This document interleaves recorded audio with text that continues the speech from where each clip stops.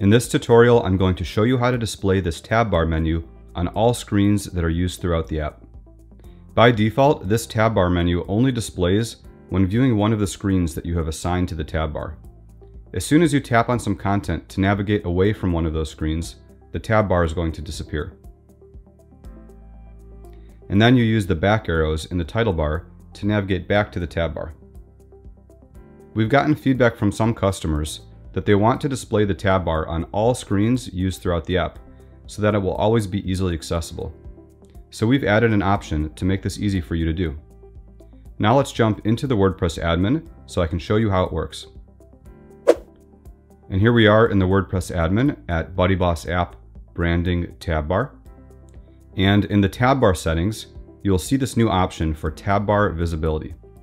The default setting is to show on tab bar menu, meaning the tab bar will only show on screens that have been added into the tab bar menu. Let's go ahead and switch this to show on all screens. And now the tab bar menu is going to show on all screens used throughout the app. And let's click on update. And now let's go back to the phone so I can show you how this looks in a real app. Make sure to hard quit your app first to see the settings take effect. Let's go back to the members directory and we'll tap on Jessica's profile again. And you can see that our tab bar is still visible.